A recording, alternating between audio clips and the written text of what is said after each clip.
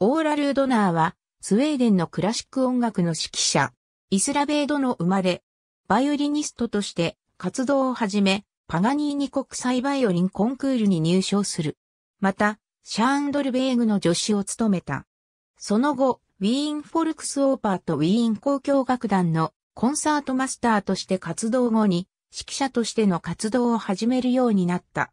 1995年にはフィルハーモニアウィーンを設立し、ウィーン楽友協会を中心に演奏活動を開始した。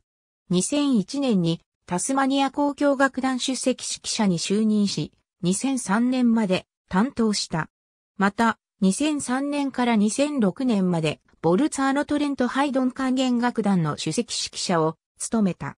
2008年9月からは、ロイトリンゲン・ビュルテンベルクフィルハーモニー、管弦楽団首席指揮者に就任し、活動を行っている。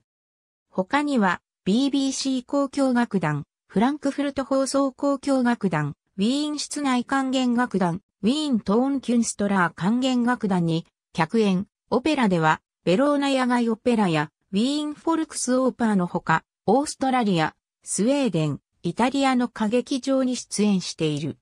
日本へは、しばしば年末年始に、ウィーンフォルクスオーパー交響楽団と共に来日し、指揮をするほか、曲によっては自らバイオリンで弾きぶりをする。また、2008年正月には、ウィーン・ヨハン・シュトラウス管弦楽団と来日ツアーを行っている。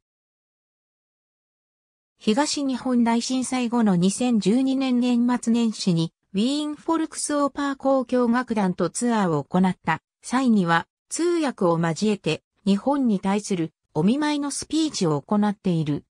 なお、このツアーのサントリーホールでの元旦の演奏会で、ヨハン・シュトラウス2世のウィーンの森の物語を演奏中に鳥島近海で地震が起こり、ホールが大きく揺れるという出来事があった。公式サイトありがとうございます。